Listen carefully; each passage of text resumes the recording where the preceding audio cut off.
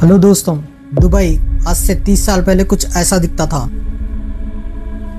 पहले दुबई में सिर्फ़ एक ही बिल्डिंग थी, जिसका नाम था दुबई वर्ल्ड ट्रेड सेंटर। और जो कंट्री आज से 30 साल पहले 100 परसेंट अपने ऑयल पे डिपेंडेंट था, आज वो सिर्फ़ 3 परसेंट ऑयल पे डिपेंडेंट रह गया है। दुबई को आज दुनिया का सबसे टॉप लग्जीरियस टूरिज़्म साइट माना जाता है। इसके पीछे सबसे बड़ा हाथ दुबई के शेख मोहम्मद बिन रशीद अल मखतूम का था। इन्होंने दुबई में वो सब कुछ कर दिया, जिसकी मिसाल पूरी दुनिया में कहीं नहीं मिलती। पर क्या आपको पता है, आज भी दुबई में एक ऐसा प्रोजेक्ट है, जिसको आज से 12 साल पहले शुरू किया गया था, जो बुरी तरह फेल हो गया। इसका नाम था द वर्ल्ड प्रोजेक्ट, जिसको 2003 में शेख के द्वारा शुरू किया गया। समंदर में 300 आइलैंड्स बनाने का ये प्रोजेक्ट, जो वर्ल्ड के शेप से रिजेंबल करता था, जिसमें luxurious villas hotels beach resorts के साथ साथ वो सब कुछ बनाया जाना था, जिसको इंसान अपने सपने में भी नहीं सोच सकता था। यहाँ तक कि इसके एडवर्टाइजमेंट के दौरान इसको लैंड ऑफ़ पैराडाइज का टाइटल दिया गया, यानी जन्नत की ज़मीन। मगर ये आइलैंड्स के कंप्लीट होने के 12 साल बाद भी आज ये समंदर में वीरान क्यों पड़े हुए हैं? दुनिया के टॉप सेलिब्रिटीज से एंडोसमेंट करवाने के बावजूद शेख का ये सपना अधूरा क्यों रह गया? दुनिया की सबसे बड़ी बिल्डिंग बुर्ज खलीफा से लेकर दुनिया का सबसे आलिशान होटल दुबई बुर्ज अल अरब तक। दुबई का कोना कोना लग्जीरियस होटल्स और बिल्डिंग से भरा हुआ है। ऐसे में जब दुबई के पास ज़मीन कम पड़ गई तो शेख ने समंदर में प्रोजेक्ट्स बनाने का सोचा। क्योंकि दुबई की कोस्टल लाइन सिर्फ़ 70 किलोमीटर की थी, अब इसको बढ़ाने का समय आ गया था। शुरुआत में शेख ने तीन आर्टिफिशियल आइलैंड्स को बनाने का सोचा।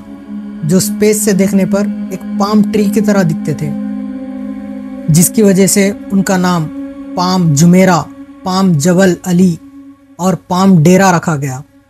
2001 में सबसे पहले पाम जुमेरा पर काम शुरू कर दिया गया, क्योंकि वो सबसे छोटा था। सिर्फ़ ये एक आइलैंड बनाने की वजह से दुबई की कोस्ट लाइन में 80 परसेंट का इजाफा हुआ। ये आइडिया इतना सक्सेसफुल था कि शेख ने पाम जबल अली और पाम डेरा का काम भी शुरू करवा दिया। इन तीनों प्रोजेक्ट से ज़्यादा पॉपुलर और एक प्रोजेक्ट था, जिसका नाम था द वर्ल्ड प्रोजेक्ट जिसमें 300 आइलैंड्स थे। इसका डिज़ाइन वर्ल्ड मैप के हिसाब से रखा गया, जिसमें हर एक आइलैंड एक कंट्री को रिप्रेजेंट करता था। ये आइलैंड्स सिर्फ़ दुनिया के कुछ इलीट लोगों के लिए बनाया गया था, जिसमें बड़े सेलिब्रिटीज़ बिज़नेस टाइकून्स और कई बड़े लोग मौजूद थे। ये प्रोजेक्ट के पूरे होने से पहले ही कई लोगों ने इस आइलैंड्स को ख़रीद लिया था। इसमें सबसे छोटे आइलैंड की कीमत 15 मिलियन डॉलर्स थी, यानी इंडिया के 125 करोड़ रुपए। तो सोचिए, सबसे बड़े आइलैंड की कीमत क्या थी होगी? जैसा बाकी प्रोजेक्ट्स में दुबई ने कामयाबी पाई थी, ऐसे ही द वर्ल्ड प्रोजेक्ट के आइलैंड्स भी 2008 तक ऑलमोस्ट कंप्लीट हो गए थे। और इसके 60 परसेंट आइलैंड्स सोल्ड आउट भी हो गए थे। इस आइलैंड्स की कीमत इसलिए इतनी ज़्यादा थी कि इसको बनाना इतना आसान नहीं था। एक छोटे आइलैंड को बनाने में स्टेडियम के टॉप से लेके बॉटम तक भरने जितनी रेत लगती थी, इसमें इस्तेमाल किए गए पत्थरों का वज़न साढ़े पाँच लाख ट्रेन इंजन्स के वज़न के बराबर था। ये आइलैंड्स 9 किलोमीटर लंबे और 6 किलोमीटर चौड़े थे। ये आइलैंड्स को बनाने में दुबई गवर्नमेंट को 14 बिलियन डॉलर्स लगे, जिसमें वो नौ बुर्ज खलीफा और 14 बुर्ज अल अरब बना देता। इतना पैसा खर्च करने के बावजूद ऐसा क्या हुआ, जिसकी वजह से आज ये वीरान पड़े हुए हैं? इसका सबसे पहला रीज़न था इसका डिज़ाइन कंस्ट्रक्शन से पहले इसका डिज़ाइन को वर्ल्ड मैप से रिजम्बल करना था, पर कंस्ट्रक्शन के बाद इसका एक भी आइलैंड किसी भी कंट्री से रिजम्बल नहीं कर रहा था। जिससे इन्वेस्टर्स भी काफ़ी ज़्यादा डिसअपॉइंट हुए। इसकी नाकामी की वजह सिर्फ़ इसका डिज़ाइन ही नहीं था। 2008 में दुबई ने द वर्ल्ड प्रोजेक्ट को लॉन्च करा, जिसमें पैसों को पानी की तरह बहाया गया। पर उसका कोई फ़ायदा नहीं था, क्योंकि इस वक्त पूरी दुनिया में ग्लोबल फाइनेंशियल क्राइसिस चल रहा था। जिसने भी 60 परसेंट आइलैंड्स को ख़रीदा था, किसी ने भी यहाँ कंस्ट्रक्शन का काम नहीं करवाया।